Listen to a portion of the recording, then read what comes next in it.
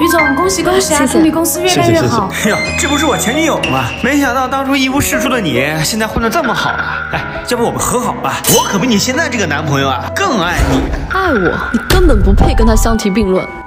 他不会像你一样恶意批判我的外貌。你看人家，你出门都不知道化个妆，就你这素颜，我都不好意思带你出门。二一，好了。雨荨姐姐，你每天都不化妆，就不怕云海哥哥嫌弃你吗？不用你操心，我女朋友是素颜美女，不需要任何修饰，都比你上镜。来，宝贝，我们多拍几张情侣合照。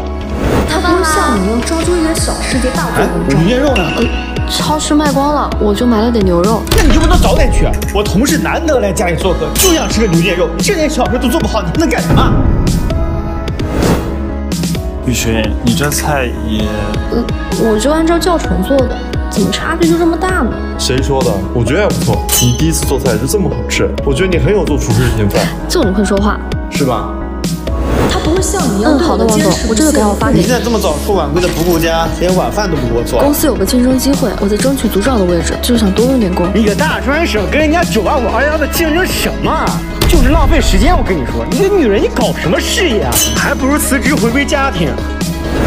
兄弟，能不能借我点钱啊？我女朋友最近辞职在创业，我劝你凑了些，但是还差点。其实我创业的事，创业资金的事儿都交给我，你尽管放手去做你想做的事儿，我会做你背后最坚持的后盾。